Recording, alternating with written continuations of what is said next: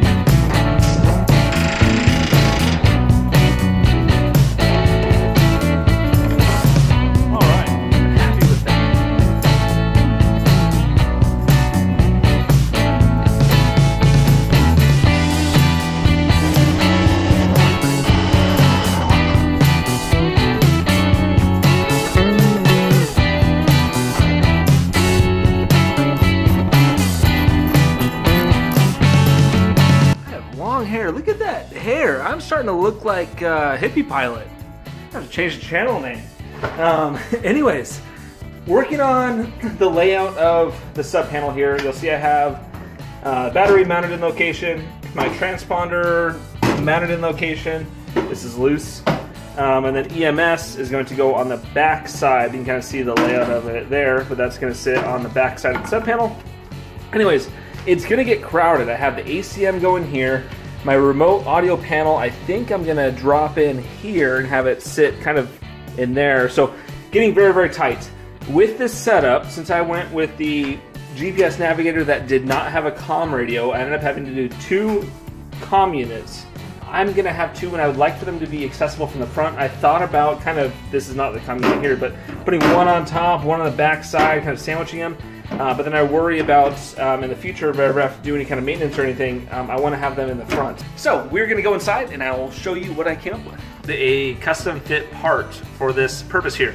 Uh, so looking here, you're probably going to have to look sideways on your screen.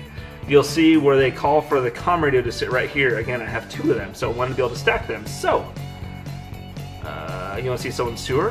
Kind of gross. Um, no, so going to the parts. I came up with this part here. So um, took the little com units, and there's a left and a right. Uh, they each have their own hole pattern. Um, so you probably can't even tell on camera. And this is what I have.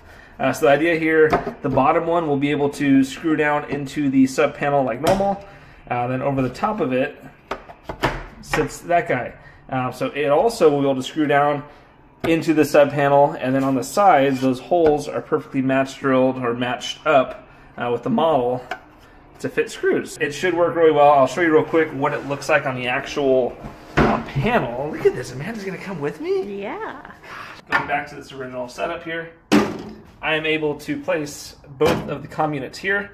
You'll notice I did leave a little like relief cut, whatever we're gonna call that. Uh, so I should still be able to get in and easily um, add on whatever, you know, put the little thingy there and there and see able to get my fingers in there. We'll get to mastering this and getting it installed. So yeah, I'm happy with it. I did chat with um, support over at Advanced Flight Systems asking if I should ground the outer shell of this. He said yes.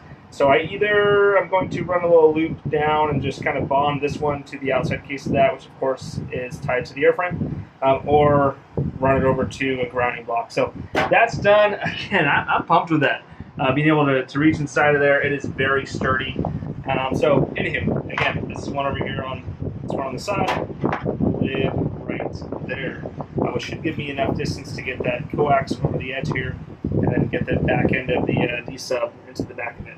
Moving on over, I changed my mind. I originally was going to put my remote audio panel directly in here and do a cutout slot, reinforcing angle, but you see here it's, it's very, very tight. I'd be running into issues up underneath this backup battery, and that is already as high up as I could possibly get it. My idea now uh, that I stole online from a, another person's builder log is to uh, not put it here, but actually to put it on the bottom side. So remote audio panel will, will mount on the bottom. This uh, bracketry here, this holder is a mirror image. It's, it's it's symmetrical, so I should be able to should be able to do all my match drilling here. I already know that it'll fit well here without interfering with this bottom rib. Uh, but then do all my match drilling, move around to the bottom. It'll be riveted down, and um, that should work out well because over the top of that will be the ACM. Um, so, anywho, uh, to maintain spacing, I went ahead and used these handy dandy high-end gauge blocks from Amazon. Uh, super cheap, but very handy for times like this. Match drilling now, so that's maintaining this nice and square and straight. I'll match drill it, flip it around to the bottom side, and then rivet it on, and we'll continue from there.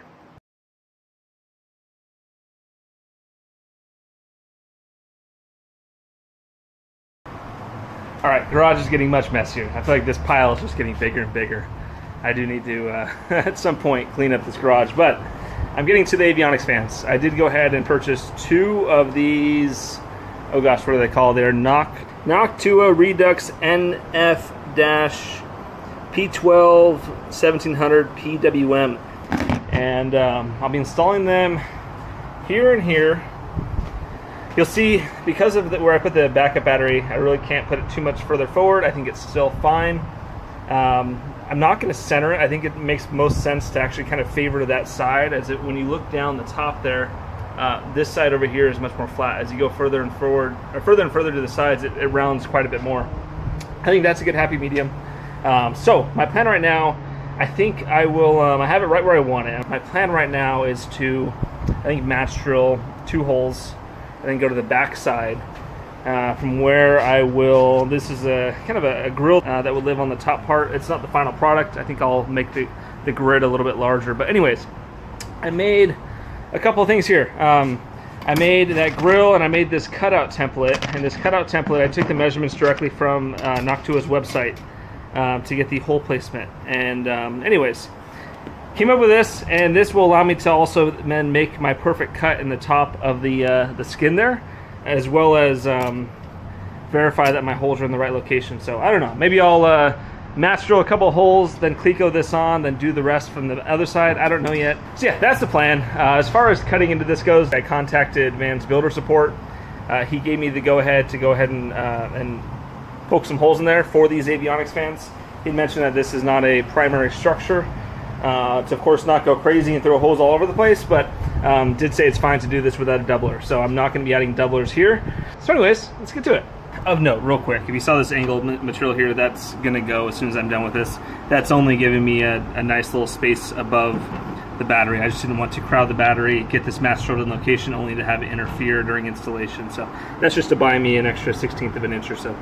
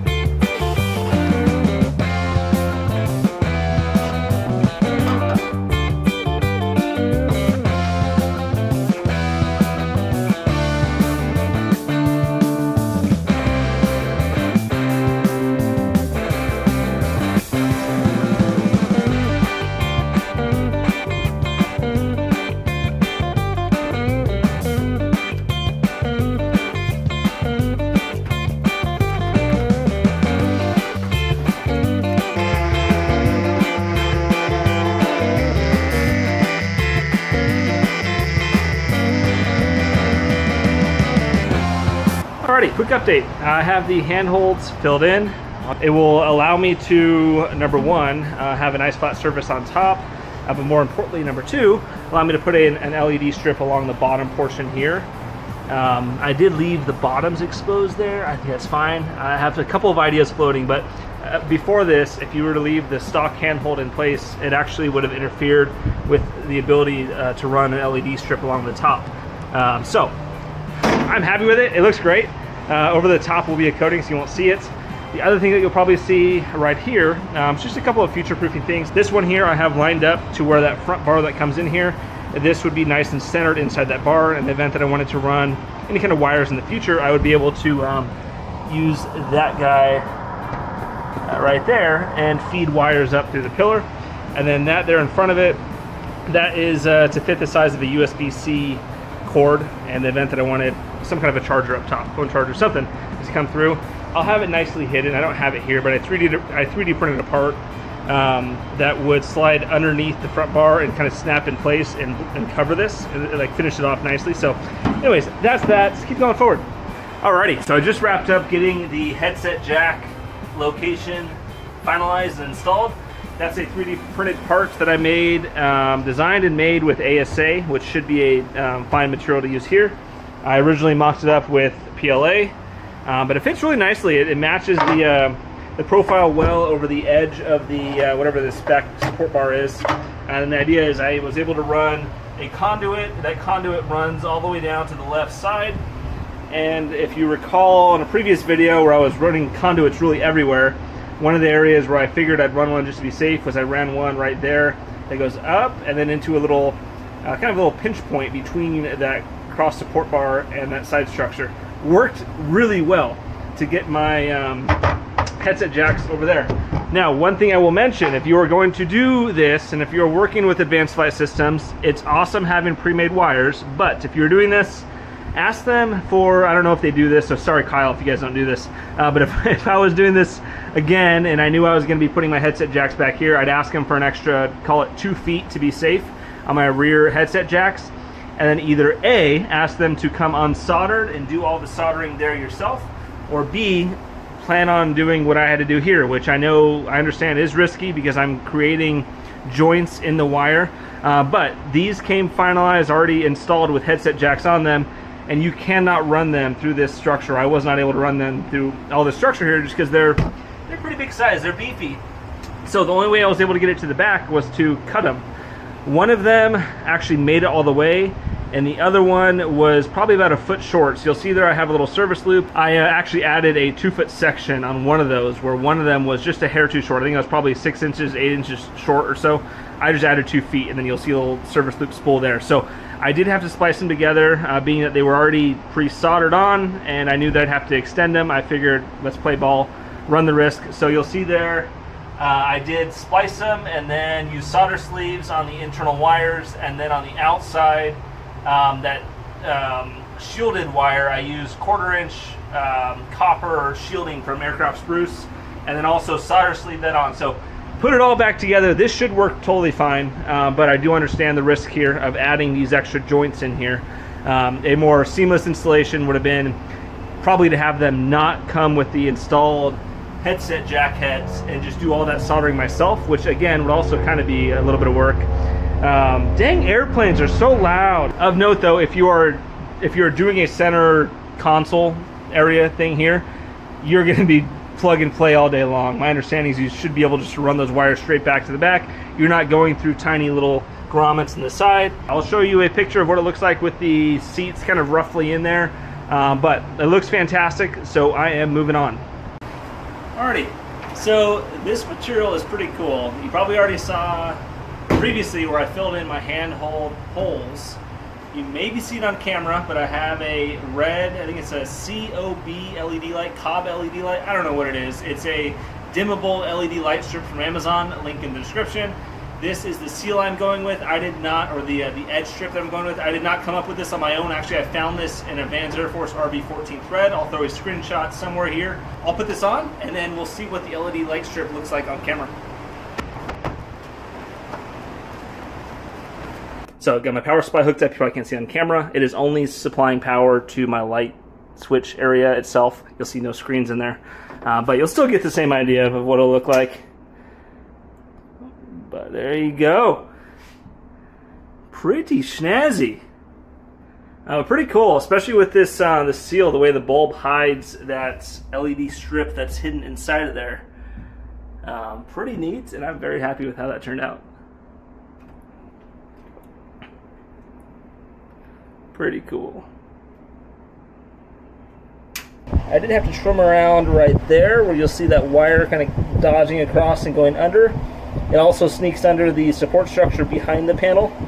Um, so yeah, other than that, the panel fit pretty well in here. I do have to do some more adjusting. This next time that I take the panel off, I will trim those sides down, touch up the paint, and move on. It's the same paint that I used on the interior here. I just added a clear layer of matte. I think it's called um, it's called Dead Flat by Rust-Oleum, so it shouldn't have any kind of a glare or anything inside. But looks pretty cool. Alrighty, so I'm going to end the video here. Next video will involve most likely getting the uh, actual top portion riveted on here and getting wiring installed and all that stuff officially installed for good. So if you made it this far, thank you so much for watching. Questions, comments, concerns, feedback, or you just want to say hi, say hi down in the comments below, and we'll see you in the next video. Adios.